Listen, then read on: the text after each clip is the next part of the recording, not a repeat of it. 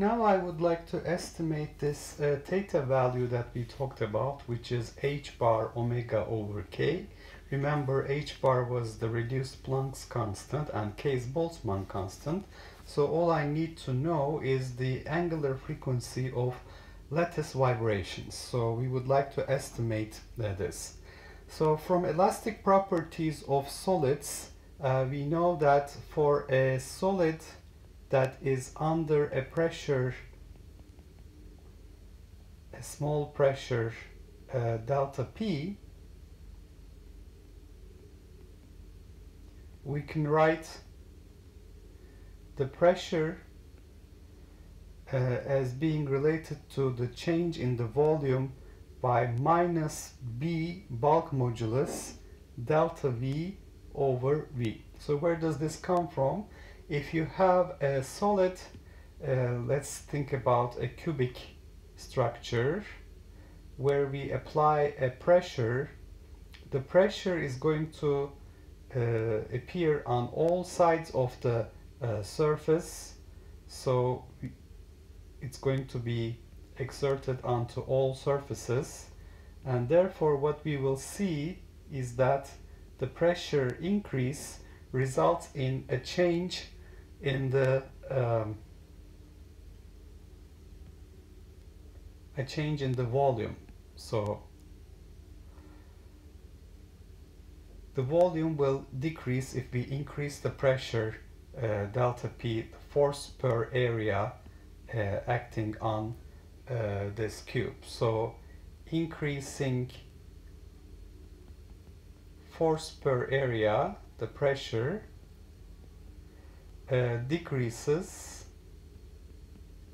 volume V. Now, uh, because of that, when we increase the pressure, the volume decreases. Uh, we have to introduce a minus sign here into this uh, expression, and delta P is equal to minus the bulk modulus times the fractional change in volume, delta V over uh, V or we can write uh, bulk modulus as uh, 1 over um, kappa uh, and therefore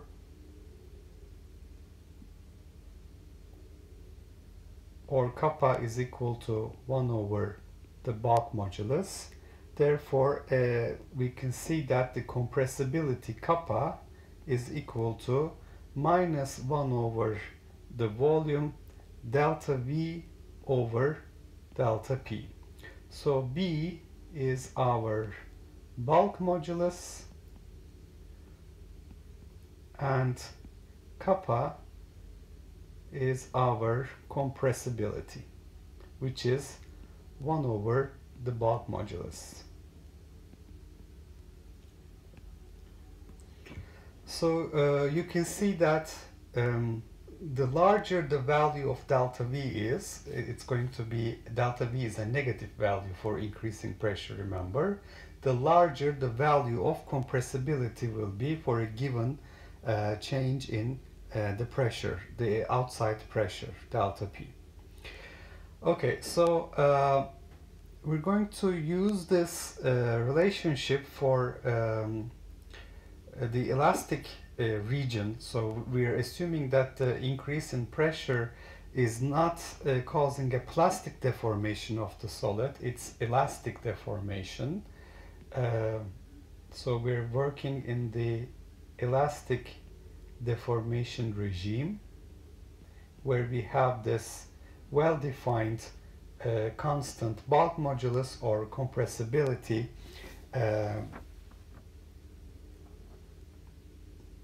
And uh, for our model, we're going to assume that we have a simple cubic uh, lattice. So if you look at the uh, surface, uh, your uh, atomic spacing will be equal to A. So where we have uh, in a simple cubic lattice,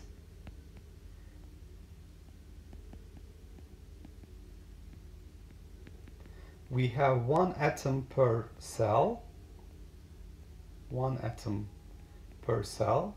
So you can think of this as eight atoms sitting at the corners of this cube and one eighth of each atom is going to be inside so one eighth times 8 one atom per cell well I can visualize this uh, as um, one atom that is inside a, a cubic region uh, as you can see here. Now A is called the lattice spacing interatomic uh, spacing. And I would like to know uh, the delta P so the pressure increase that I'm applying to this uh, lattice will be equal to the force that I'm applying divided by the area A. So it is force per area and that will be equal to F divided by um, the area occupied by one atom is a squared. So it's going to be equal to or it will give me a force per atom as uh, lattice spacing squared multiplied by the increase in pressure delta P per atom. Uh, so as a result of um, the increase in pressure, we have a change in the volume delta V over V and the volume of a cube is a cube so it's the volume occupied by one atom uh, is a cube so we're looking at the change in a cube it is 3a squared if you take the derivative with respect to a. Uh, 3a squared delta a divided by a cube so this will be equal to 3 delta A over A. Then we're going to have force per atom, F per atom, equal to uh, A squared times uh, delta P, which is A square times um, minus the bulk modulus or 1 over the compressibility delta V over V which is minus a square over kappa 3 delta A over A. So this will cancel one of the A's in the numerator. So we find that uh, the force per atom is equal to um, minus 3a over kappa times delta A. So I call this 3a over kappa as my spring constant. So this is my spring constant. And you can see that the force is proportional to uh, the displacement so it is minus alpha times delta A and alpha the spring constant is 3A divided by the compressibility. So the frequency of vibrations omega is square root alpha divided by m for the simple harmonic motion of these atoms about their equilibrium uh, lattice sites. So this will be equal to square root 3a over kappa multiplied by m. So I was able to estimate the, the angular frequency uh, of uh, lattice vibrations using this um, estimation. Okay, so let's get some numerical values. Now for copper, I would like to estimate the frequency of lattice vibrations. The atomic mass is 63.5 grams per mole and the density of copper is 8.65 grams per uh, centimeter cube. And the compressibility of copper that is tabulated in CGS units it is 7.3 times 10 to minus 13 centimeter square per dyne of force. So you can see uh, having these values I can calculate m. The mass of one copper atom is the atomic mass divided by Avogadro's number. So it is 63.5 uh, divided by Avogadro's number 6.02 10 to 23 I find 1.05 times 10 to minus 22 uh, grams. Uh,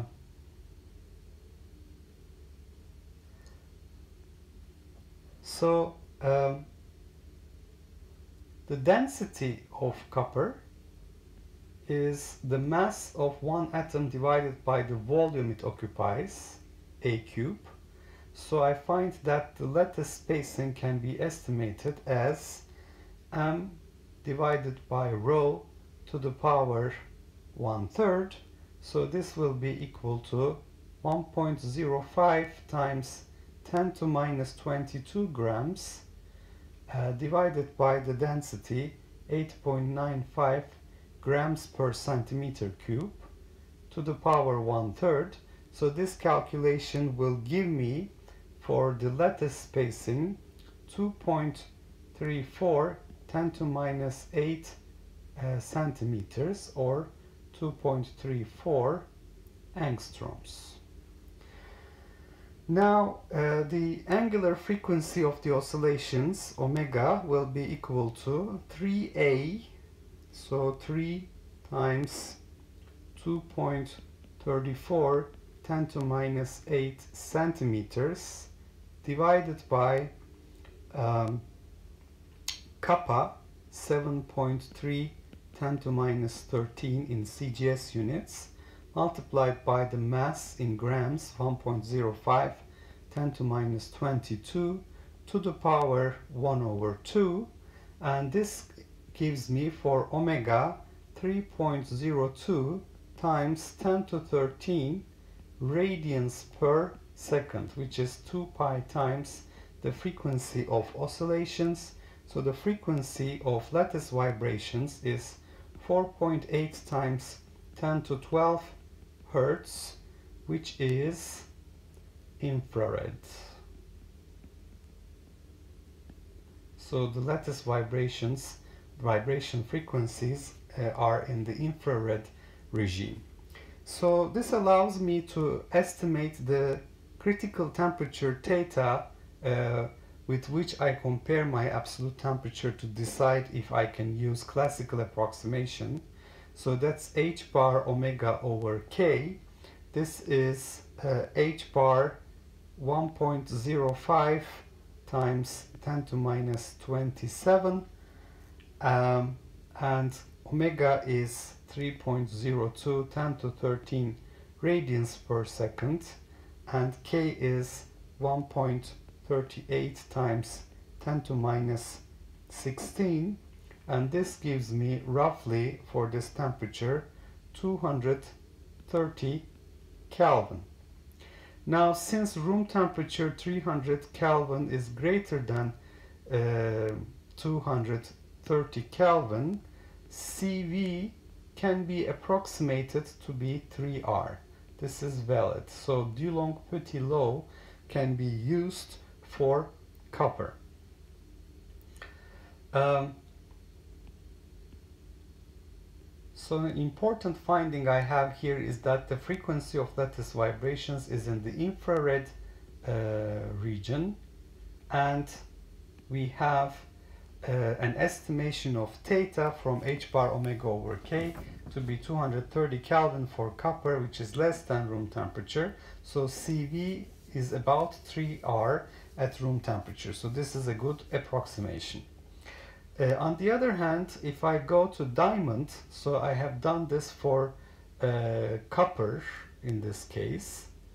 Um, so if I try the same calculation for diamond, diamond is carbon, as you know. And for this one, uh, the compressibility of diamond is one third of the compressibility of uh, copper. Uh, the atomic mass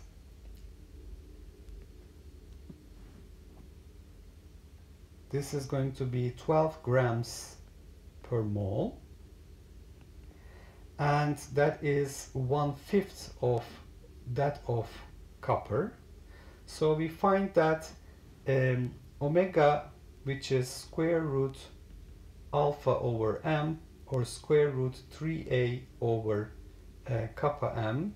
Kappa is reduced uh, to one third. Uh, the mass is reduced to one fifth. Uh, the lattice spacing a is not going to be very different. So we find that omega, so by decreasing kappa and m, we're going to increase omega. Omega will be much higher. So angular frequency of oscillations for diamond will be much higher. And in fact, if you calculate the theta value for diamond, it is roughly 830 Kelvin. So the classical approximation giving us CV is equal to 3R, Dulong-Petit law, uh, is not valid at room temperature.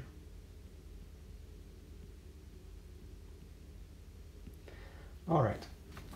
So uh, I wanted to numerically estimate the lattice vibration frequency and the corresponding critical temperature with which I compare my absolute temperature to decide if I can use classical approximation. And for this I have used a simple cubic lattice model uh, and in a simple cubic lattice we have atoms at the corners of a cell and one eighth of each atom is inside the cell so we have total of one atom per cell. Or you can visualize this in two-dimensional surface as one atom uh, that is inside a square um, at the surface so for a solid under a small pressure delta P, the elastic properties of the solids tell me if you apply additional pressure on a surface, uh, the, the object uh, feeling this pressure from all sides will uh, basically shrink. So there will be a decrease in its volume. So the increasing pressure is related to the decreasing volume by a constant called the bulk modulus. Delta P is minus bulk modulus delta V over V or compressibility is defined as 1 over the bulk modulus. So compressibility is minus 1 over V delta V over delta P. And I can estimate the interatomic uh, spacing using the density uh, of the uh, solid and its molecular mass and volume of a cell as we can uh, see in the case of copper. So the applied pressure on the surface, that's the force per area, uh, is going to be uh, F divided by a, a, square, where F is the force I'm applying per atom. So uh, A square is the area occupied by one atom uh, in the cell, and uh, so F is equal to A squared times delta P, and the change in the volume delta V is the volume occupied by one atom is A cube inside the cell. So delta A cube over A cube is 3 delta A over A. So for the force per atom, A squared times delta P, I have A squared times minus bulk modulus delta V over V or minus 1 over compressibility delta V over V. And I find that the force is minus 3A over kappa delta A. So 3A over kappa seems to be my spring constant and force is equal to minus alpha delta A, change in the interatomic spacing. So omega, the angular frequency of oscillations for the simple harmonic motion is square root alpha over m, so it's square root 3a over kappa m. Then I have estimated it for copper, the mass of one copper atom is atomic mass divided by Avogadro's number. Density is mass per volume, mass of one atom divided by volume occupied by one atom, A cube. So A is mass divided by density to the power one third. And omega I have estimated by substituting the values that I calculated uh, plus the compressibility, the known compressibility of copper. These, these are tabulated, you can find it uh, in many places, including the web. Uh, kappa is 7.3 10 to minus 13 centimeters square per dyne. Uh, so uh, this is going to give me for omega 3.02 10 to 13 radians per second or a frequency in the 10 to 12 hertz infrared regime. Uh, so that's basically terahertz regime. Uh, let me note that here this is terahertz regime. Now the theta, the critical temperature with which I will compare my absolute temperature is h bar omega over k and it, this value is 230 Kelvin for copper. Room temperature is higher than 230 Kelvin so this means that the Dulong-Petit law uh, molar specific heat is about 3R is still valid for copper but if I compare it to diamond where the compressibility is one third that of copper and the mass is one-fifth that of copper, the angular frequency of oscillations is much higher. As a result, theta is about 830 Kelvin, which is actually greater than 300 Kelvin. So Dulong-Petit law CV is about 3R is not valid at room temperature for diamond.